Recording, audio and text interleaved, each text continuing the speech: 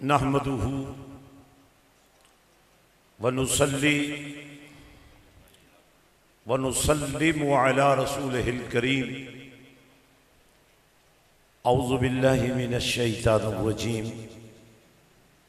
बिस्मिल्लाहिर्रहमानिर्रहीम वजअलनाकुम शुऊबन व क़बाइल लितारफू। इन्ना करमकुम इंदल्लाहि अतकाकुम। सदकल्लाहु मौलाना अज़ीम। व सदक रसूलुन्नबीयुल करीमुल अमीन। अस्सलातु वस्सलामु अलैका या सय्यदी या रसूल अल्लाह व अला आलिका व असहाबिका या सय्यदी या हबीब अस्सलामु अलैकुम व रहमतुल्लाहि व बरकातुहू कोशिश करके और थोड़ा ऐसा बोलना चाहिए। जवाब सलाम का अस्सलामु अलैकुम व रहमतुल्लाहि व बरकातुहू अब ये उलमा तो जानते हैं ना, वाजिब है जवाब देना। तो फिर वजूब का दायरा तो उस वक्त मुकम्मल होगा ना, जब आपकी आवाज़ जवाब बनकर मेरी समात में भी आएगी ना। हम जिस दीन के मानने वाले हैं और जिस दीन के नौकर हैं, इसका नाम है इस्लाम। सलामती का ये उन्वान है। इसलिए अल्लाह ने फरमा उद खलूफिल में काफ। अगर आप थक गए हैं तो बहुत सारे उलमा मशाक चले गए, आप भी चले जाएँ। लेकिन जितनी देर बैठे हैं, कम अज कम आपके अंदर ज़िंदगी की रमक तो होनी चाहिए ना। तो अल्लाह का नाम लेने में क्या तकलीफ़ है आपको? हजरात, हम एक ऐसी अजीम शख्सियत के प्यार में यहाँ आए हैं। हज़रत मुफ्ती साहब हज़रत अल्लामा हाफिज मोहम्मद सईद साहब और आपके जितने भाई हैं, ये सब तो मुझे अपने भाइयों की तरह अज़ीज़ हैं। इसलिए मैं बड़ी एक अहम बात आपसे कहना चाहता हूँ।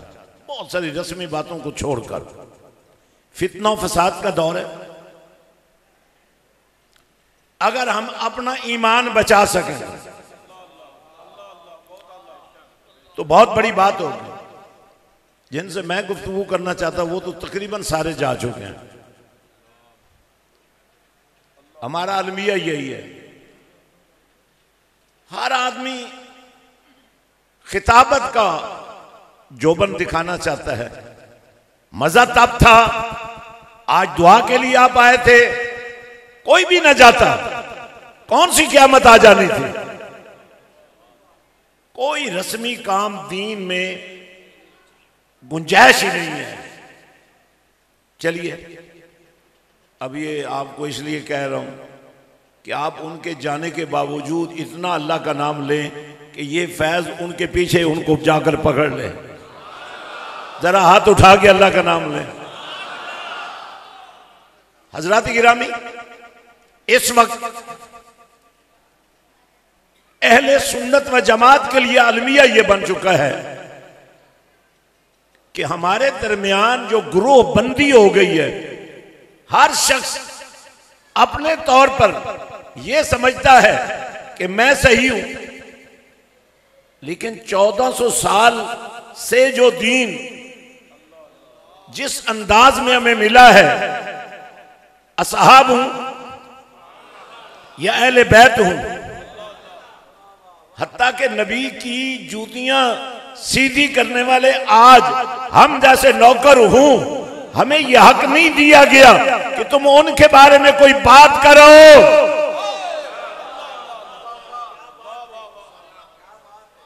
मुझे आपकी आवाज़ सुनने का बड़ा शौक है।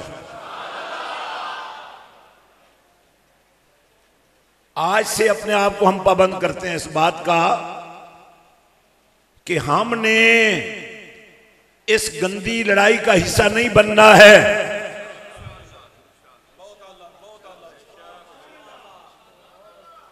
अल्लाह को जानना कोई इतनी आसान बात नहीं है। मैं चूँकि चंद हस्तियाँ जो तशी फरमा है, मैं ये बात इसलिए इनसे कर रहा हूँ कि यहाँ जो कारवां आपके वालिद गिरामी ने शुरू किया। और जिसके आप सब भाई अमीन हैं, और उस अमानत को आप सही लेकर चल रहे हैं। जब हज़रत अल्लामा हाफिज मोहम्मद सईद चिश्ती साहब से मेरी मुलाकात डेनमार्क के उस सेंटर में हुई तो मैं हैरान नहीं था मुझे खुशी यह थी कि आज से चंद साल पहले जिस इदारे की बुनियाद मैंने रखी थी, उसको संभालने के लिए वो शख्स आ गया है, जो अपनी दुनिया में एक बहुत बड़ा गुलशन है। मैं बड़ी अहम बात आपसे कर रहा हूँ। आप सिर्फ़ ध्यान रखिएगा लंबी गुफ्तगु का वक्त नहीं रहा। अब जो पहले थे, वो तो अपना सबक सुनाकर चले गए। काश हमारे अंदर ये जौक पैदा हो जाए कि हम सुनने के लिए भी तैयार हैं। अब इस वक्त जो अहले सुन्नत की सबसे बड़ी ज़रूरत है, अपने पीर के हाथ चूमो या ना चूमो, नबी के दर के हर फकीर के हाथ चूमो। और ये मेरे पीर साहब है, ये उसके पीर साहब है। अरे जब तक कोई नबी का नौकर नहीं बनता, पीर कैसे और लफ्ज पीर वैसे ही आपको पता है, ये अरबी का तो है ही नहीं। बोले तो सही ना। अरबी में रुश्द से बात शुरू होती है। आपकी आवाज़ भी मुझे चाहिए। रुश्द से मुर्शिद बना है। अब हमारी कौम का यह हाल है कि मुर्शिद की बजाय मुर्शुद, मुर्शद। पता नहीं क्या क्या हम। लेकिन जिस दिन मुर्शिदीन ने रुश्त का सबसे बड़ा खजाना, नहीं बोल सकते तो यहाँ से उठकर उधर चले जाओ। रुश्त का सबसे बड़ा खजाना, जिसका नाम है कुरान।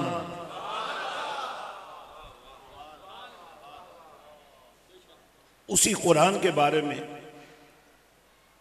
अल्लाह के प्यारे हबीब सल्लल्लाहु अलैहि वसल्लम फरमाया, खैरुकुम. मुझे आवाज़ नहीं आ रही है। खई खैरुकुम, मन तल्लमल कुरान वाल्लमाहु आप सबने कुरान पढ़ा था। कभी किसी को पढ़ा सके हो?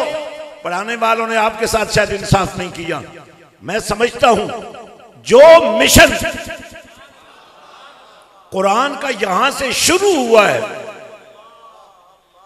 ये हमें दावत ये दे रहा है कि हर पढ़ाने वाला आज भी समझ जाए। आप जो पढ़ा सकते हैं, कुरान सही पढ़ा सकते हैं। आज भी इरादा कर लेना कि हमने अपने मोहल्ले के दस ऐसे घरों के ऊपर दस्तक देकर फ़ीस का मुतालबा किए बगैर उनसे कहना है आओ कुरान सीख लो।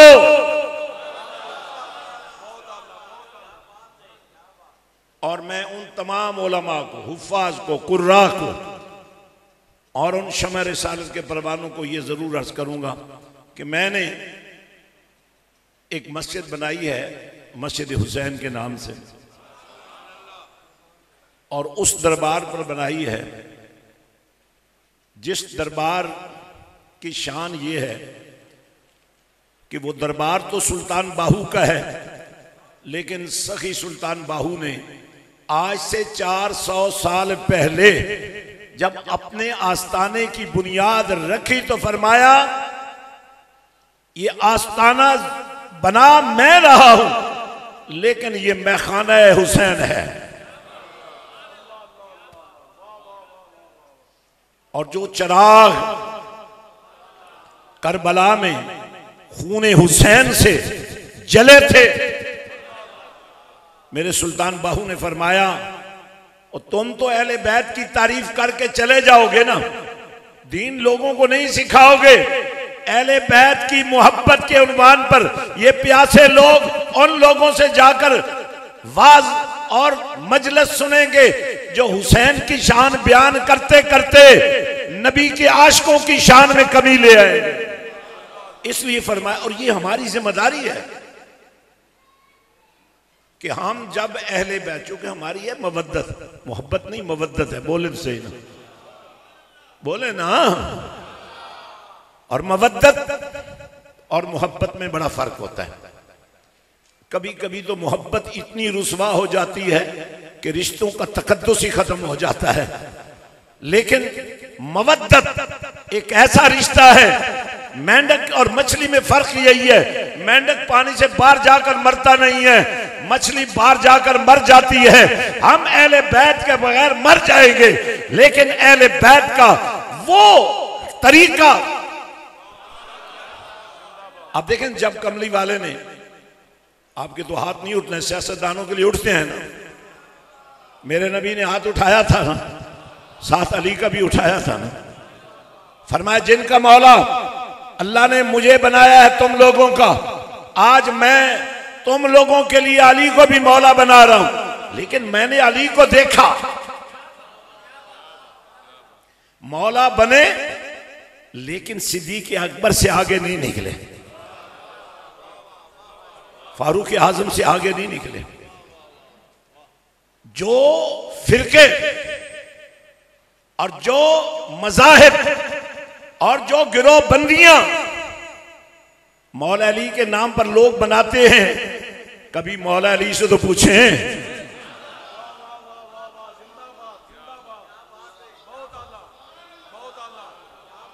आपको पक्का रहना है, अहले बैत से सिर्फ़ मोहब्बत ना करें मबद्दत करें। सिर्फ़ हाथ ना चूमे, ये भी जाकर पता किया करें, खानदान के इस घराने में कितनी बेवाएँ हैं। कितने बच्चे यतीम हैं? आप तो हाथ चूम कर चले जाते हैं, लेकिन उस घर में खाना नहीं पकता। हमें, मैं इनशाला फिर किसी वक्त ज़रूर हाजिर हूँगा चूँकि बिल्कुल नमाज़ का भी वक्त है। और यही सबसे बड़ी हमारे यहाँ प्रॉब्लम है कि जब वक्त नहीं होता तो ज़ाहिर वक्त होता है। हज़रत मुफ्ती साहब, हज़रत अलामा हाफिज़ मोहम्मद सईद साहब, और इस खानवादे के जितने लोग हैं, हम आपके साथ खड़े हैं। जो कुरान का काम यहाँ से हुआ है, और जो मदीने वाले आका के इश्क का सामान यहाँ से हुआ आप जितने बैठे हैं ना, आपके नारों का इनको कोई फ़ायदा नहीं। ये इतना बड़ा मरकज पूरा शहर मिल जाए तो नहीं बना सकता। सिर्फ़ इसकी हिफाजत कर लो। सिर्फ़ इसके साथ जोड़ जाओ, बोलो जरा। इसके साथ जुड़ जाओ। यहाँ जो कुछ हो रहा है, उसका झंडा उठा लो। नहीं तो फिर इस मोहल्ले से कहीं और चले जाओ। अगर अल्लाह ने तुम्हारे मोहल्ले में, तुम्हारी गली में, तुम्हारे रोड पर, तुम्हारे शहर में एक मरकज इश्क मस्ती बना दिया है अब आपसे जो चंद ओलमा बैठे उनसे मेरी गुजारिश है कि हमने कोशिश करनी है कि हम जो अब नई सफबंदियाँ हो रही हैं ना, उनका हिस्सा ना बने। और वो जो चौदह सौ साल से, जिन जिनको मदीने वाले ने बयान किया है, नाम ले लेकर बयान किया है ना, हमें रसूलुल्लाह की बातों में शौरी तौर पर दाखिल होने की ज़रूरत है। ना के चौदह सदियों के बाद जिन्होंने ना अली से मोहब्बत की है, ना अली के नक्शे कदम पर चल रहे हैं। उनसे हमें कोई तवक्कुआत नहीं रखनी चाहिए। हम फिरका नहीं है। बोलें जरा, जो यारसुल्ला कहने वाला दोनों हाथ उठाकर यारसुल्ला कहे।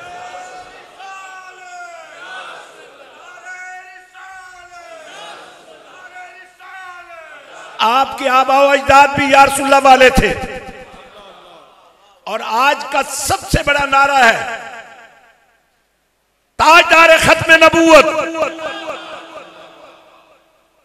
आज का सबसे बड़ा नारा है गुलामी रसूल में। आवाज़ नहीं आई मुझे गुलामी रसूल में ताजदार खत्म नबूवत एक पूरी लाइन ऑफ़ एक्शन मौजूद है। एक पूरा तरीका कार मौजूद है। जो सहाबा ने बनाया होगा, उस जैसा कोई हो सकता है। जो सुल्तान बाहू ने रास्ता दिखाया होगा, उस जैसा कोई रास्ता हो सकता है। जो गौस पाक ने समझाया होगा, उस जैसा कोई हो सकता है। जो ताजदार गोलन ने फरमाया होगा, उस जैसा कोई हो सकता है। तो आपको नए नए रास्ते ढूँढने की कोई ज़रूरत नहीं है बहुत अच्छे बहुत आला बहुत अच्छे अब हम भी सदी के एक तिहाई हिस्से में निकल रहे हैं। हमने तो यही देखा है, जहाँ बात कमली वाले की आ जाए और जहाँ कमली वाले के सोबत रखने वालों की आ जाए, फिर वहाँ ये तफरी कैसे हो सकती है? ये आल है या साहब है? अरे, क्या हुसैन नबी के कंधों पे चढ़ के साहबी नहीं बने? जो एक हैं, उन्हें दो क्यों बनाया जा रहा है? हज़रत, इसी के साथ मैं गुजरा वाला के गयूर ओलमा से अर्ज़ करना चाहता हूँ। यहाँ आज भी बड़ी स्ट्रेंथ है बड़े बड़े इदारे मौजूद हैं, लेकिन एक दौर में बहुत पहले एक जमात होती थी सुन्नी फोर्स अगर आपसे हो सके ना वो नाम ना भी इस्तेमाल करें, उस अंदाज में।